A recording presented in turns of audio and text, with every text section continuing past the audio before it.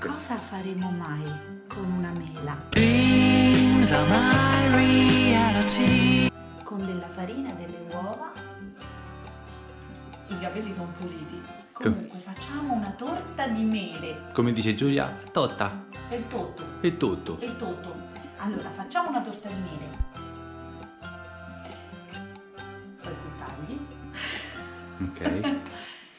Cominciamo a pulire le mele. Ce ne servono 700 grammi pulite. Ah no, 700.000, perché No. era un po' tosta la cosa. 700 grammi pulite. Ma va bene. Iniziamo a tagliarle finemente Sì, e poi vediamo come procediamo. va bene. A dopo.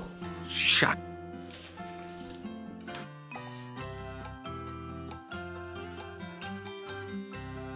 Dopo aver tagliato tutte le mele pulite bene, ne- le prendiamo e le facciamo a fettine abbastanza sottili.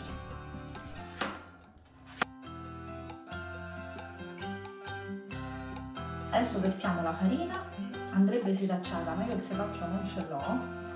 Mettiamo 16 grammi di lievito per dolci, Ok. li mettiamo dentro insieme alla farina. Adesso prendiamo un'altra ciotola dove andremo a rompere le uova. E non solo. No, le uova, solo le uova, sono due uova. Quindi mettiamo le uova. 200 g di zucchero ne mettiamo una parte Mm. e cominciamo a mescolare. Allora, la prima parte dello zucchero l'abbiamo già Non ti incorporata. sento!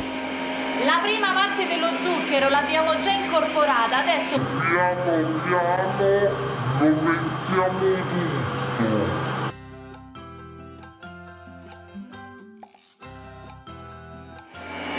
Andiamo ad aggiungere un cucchiaio per volta la farina che precedentemente avevamo miscelato con 16 g di lievito in polvere.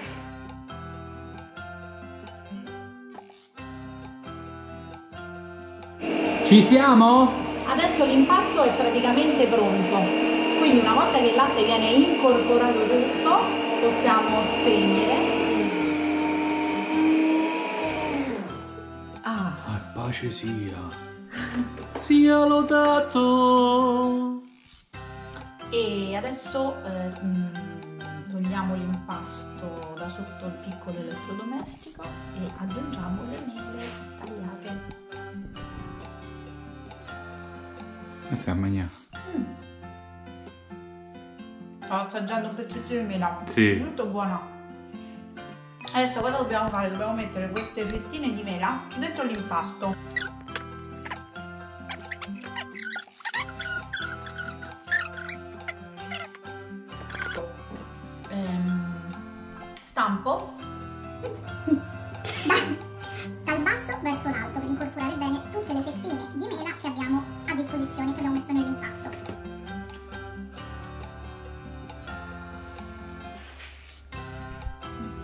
La torta è pronta per essere infornata, forno statico 180 gradi per 55 minuti.